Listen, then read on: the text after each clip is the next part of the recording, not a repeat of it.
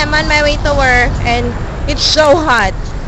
Seryoso, ang init-init. Nakita nyo ata ipin ko. Nakakahiya yung ipin ko. Hi guys! Okay, so today is November 29, 2012. It is a it is it is a Thursday, so I'm already at work. I'm just gonna show you guys um, my food for today. So I, you know, I'm now on a diet. I'm an on and off dieter. Um, for snacks, I have my fruits. I have two oranges. So one is going to be for later, and then one is going to be for dinner. Um, I have salad, and they're in plastic because um, I don't know where my mom put my Tupperware, um, my Tupperware. So I'm gonna put it in plastic. I have a plate in my station, so okay lang. And then for extra vitamins, I have the essence of chicken from brands. I haven't vlogged about this, but I haven't vlogged a review about this product, but I have been drinking it a lot. This is what it looks like. If you are Chinese, you might know this. A lot of Chinese um, drink essence of chicken a lot. And brands actually is one of the cheapest in the market.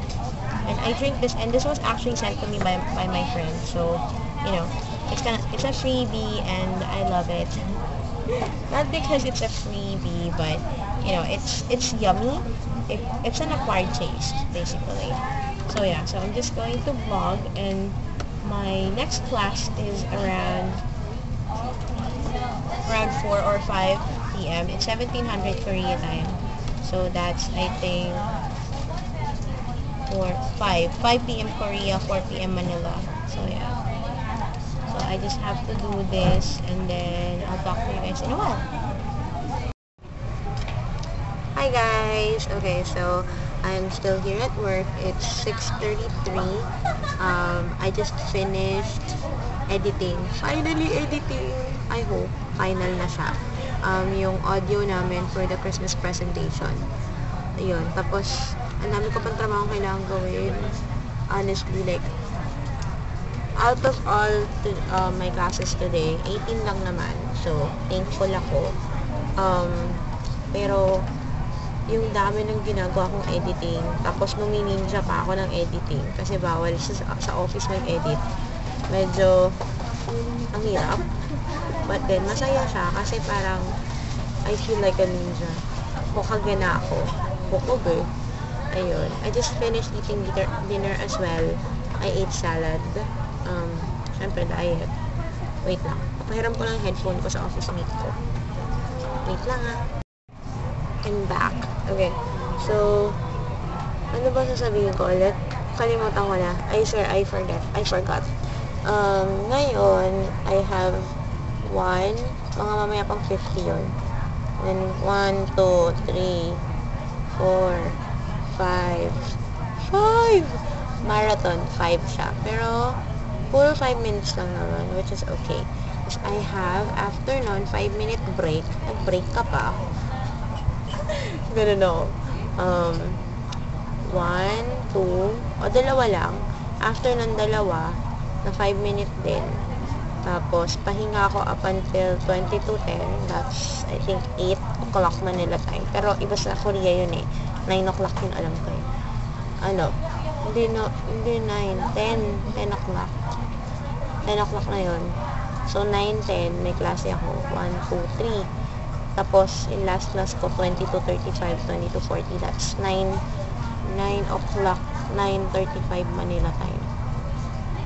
Ganun din. 18 lang naman, 17 lang naman klase ko today, which is good. Ooh, katurn ako ng damit si Coach Che. Sabog. Okay, I have to go. Hey guys. Oh, diba? I am so bored.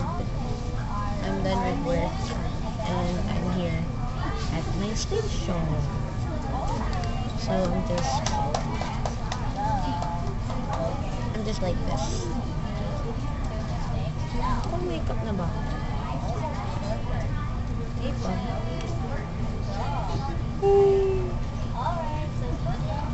I'm unusually tired tonight. Like, I don't really know what to say because I'm too tired. And also, I don't know, like I'm tired, like feeling ko gusto ko na lang matulog. Yun yung pakiramdam ko. So yeah, I think I'm gonna do that. I'm gonna take a nap. Kasi ang sakit ng katawan ko. I've been dancing. So yeah, that's it. Um, thank you so much for watching. Um, I hope that you you were able to be, get entertained a little. Um, I was supposed to do a vlog with my office mates, but then, yun nga, they're busy as well. So, we'll just it tomorrow when we're going to have practice. So, you're gonna see me dance. And I hope you guys don't laugh. So, yeah. I have to go. Thank you so much for watching. Have a safe and wonderful day.